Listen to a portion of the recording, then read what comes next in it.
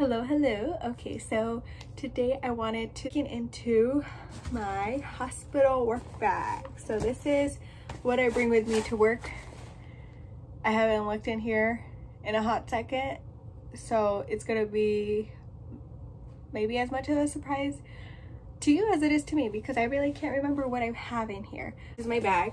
It's a backpack that my mom got from work and I just liked it because it was simple and cute. There's a, there's a zipper right here, a zipper right here, pocket, two big pockets, pockets within the pockets, and then like a back one. So this one's good. In the first pocket in the back, I have extra syringes.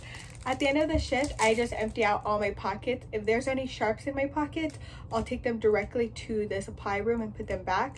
But if I have like this or like gloves, I'll usually just put it in the backpack again. And then the next shift, I'll take it out and put it back in my pocket so I make sure to use them. Alcohol swabs. my scissors. I have my stethoscope. This is my lip mitt. It's the like rainbow teal version and I have this from Etsy that has my name. It says Jacqueline RN. Just printed out a bunch of policies and procedures so that I can have them handy and I can read them over if it ever got slow or if I had some extra time on my hands. Again, quotation mark, there's no extra time. Cheat sheets I printed off from like Pinterest. So this is my fluid and electrolytes cheat sheet and I have an IV solution cheat sheet, like what is compatible to what. This was my nurse cheat sheet. Uh, rhythm strips, paper bags that they've been giving us to put our masks in so that we can reuse them. Medical surgical nursing textbook. This is a teeny tiny textbook. I got this idea from Holly Gabrielle here on YouTube. She said that she used this, especially during her first few months last year.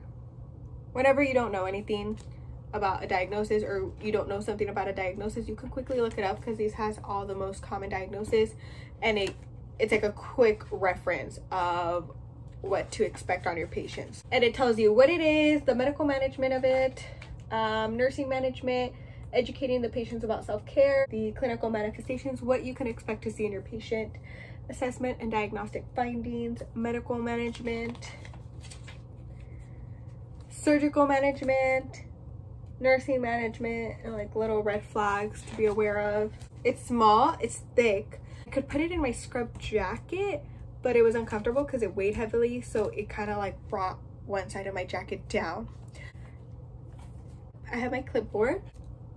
External battery. I don't know what, what is that sound? Why is it shaking? Some ibuprofen, latex tape, breath mints, phone charger, Emer emergency granola bar, another pen light. I had lost this one actually. It was like all the way at the bottom. A whiteboard marker to update the whiteboards, highlighter, pens. Love my pens. These are really good, by the way. These are the Energel Liquid Gel Ink 0.7 needle tip. They're really nice.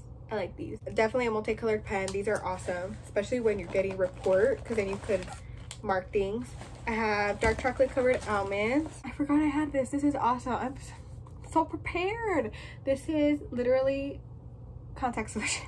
I forgot what it was. It's contact solution because I do wear contacts and my eyes would dry out a lot when I was doing day shift or when I did uh, clinicals. Always carried my glasses in here too. I would just throw them in after I put on my contacts. And this is my very first schedule. It's really cool. I had just gotten this. So you, it's magnetic and it clips onto your shirt, scrub top, whatever. And it stays on and then you click it and it lights up different colors that was really cool. That is everything in my hospital work bag. What I actually took with me into the floor my eucalyptus oil my lotion clipboard stethoscope. I'd carry my pens highlighter. This is pretty much what I had with me every single shift.